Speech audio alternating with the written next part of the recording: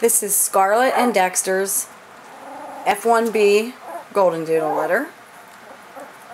I'm doing a video a week early. Somebody on my deposit list asked me to do so. Sorry it's taken me so long. But I'll come down in closer. This is the green ribbon.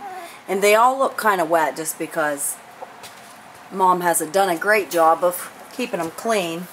As soon as we move the pool out of here though, the swimming pool, they'll be fine.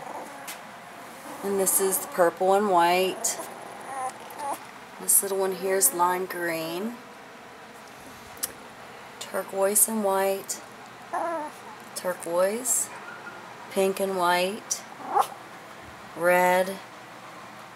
That one's pink. Purple. And this little one you can't hardly see underneath there. That's the white boy. He's the little one.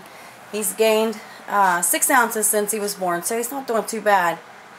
He just was littler than everybody else when he was born. Um, they all look like they're going to be reds right now, but that could always change. They could turn apricot.